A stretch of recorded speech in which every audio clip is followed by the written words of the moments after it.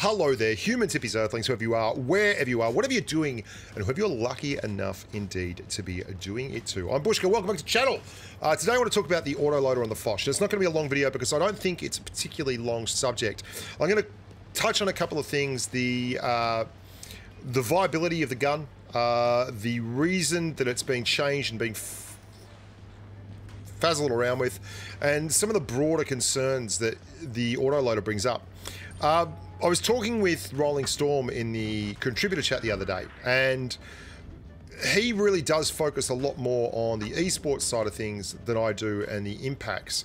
So I don't want to go deep into that kind of stuff because for me, the erratic nature of the the PUBG of the um, World of Tanks Blitz esports scene, namely the metas. Like originally it was 140s and IS7s, then it changed up to include mouses and TDs, and the M48 featured really heavily. And I like that, uh, so I don't want to get into the pros and cons of that. But this tank certainly does look to have a strong place in the esports arena. Uh, it's a tank that's been buffed and buffed again, and. I felt it was strong already. I don't know that it really needed the resources devoted to get an autoloader working. And they tried it with an autoloader way before it was ever released.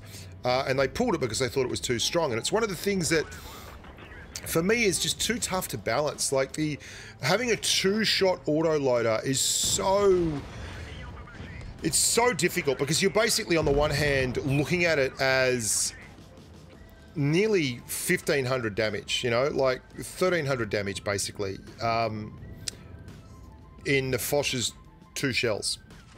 And so the timing on that and how you rate that to allow for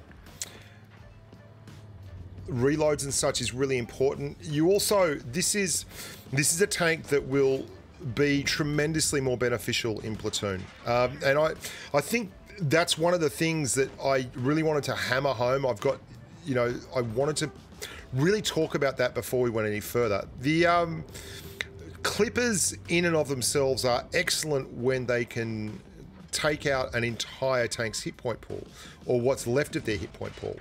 And if you've got two of these things in platoon or indeed a DPM tank in platoon with the Foch, then you can do things a lot better. And auto loaders really, really shine when teamwork is involved. It's one of the reasons why they're used so extensively in the uh, in tournaments. And a Foch as an autoloader with another Foch means that there is a potential clearing of an enemy heavy in one clip. And that is very, very, very, very powerful. It's also one of the reasons why I'm not too worried about the balance because to do that, you've got to be in a good team and you've got to be in a team that um, both has the tanks and is high on teamwork. And it's just not something that you see a lot of. Or if you've ever played Blitz before, you know exactly what I mean.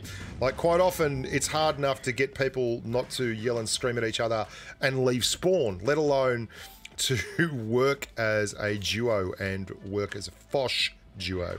Now, I thought it was very, very strong without the autoloader, and for that reason, when I played this, it doesn't feel incredibly out of the box broken to me at all. It feels pretty much at the same level as the other the other gun on the Foch that is not an autoloader, which I already thought of as a very, very strong contender for best TD in its tier. Like, it's not the best, but it's certainly a very robust entry place, uh, entry into the marketplace. It's a tank that you can use to brawl. It's a tank that you can use to support very, very fast mobile mediums. And it's a tank that can also uh, be used in a sniper role. It's a very, very good tank without adding an auto autoloader. And sure, that makes for some excellent decisions, but I really feel like the only part of the game where that's going to be real, a real important point is when it's in platoon. Now, there are a lot of new tanks coming in, and I, I, get people saying all the time, "Oh, why don't you go and review some of the older stuff?" And it's it's hard to find the time. Like there are that many new vehicles that are popping along tech trees and uh, stuff that's in testing and new premiums at tier 10 and changes to tanks that we already know about. And I feel like the Foch is going to be one that I don't want to waste too many more man hours on because it's a strong tank that works, and it's been strong for quite some time. And they buffed it after I didn't like it at the start, and it's been gangbusters ever since. But I do feel that it's a lot like, and I know this is an odd analogy, the FV4202, where they gave it Hesh, then they took away Hesh, and then they gave it Heat and Hesh, and they took away Heat, and then they gave it a gun that fired Heat and APCR, and a gun that fired Hesh and APCR, and they fiddled and finoogled, and basically it was um, a tank that they just couldn't figure out, where the ceiling was incredibly high and the and the floor was incredibly low. And the Foch, if you raise the floor too much on this thing and change anything else about it, it's going to be broke as hell. But at the moment, both the guns seem very good, and both of them seem to work very well. I hope that uh, gave you a little bit of a, uh, a clear up on. I just wanted to really talk those points through in front of everyone because it's not just numbers with this kind of stuff. There's a huge issue in, in gameplay and balance, and we're seeing Wargaming really reach for the stars here and try a lot of different stuff.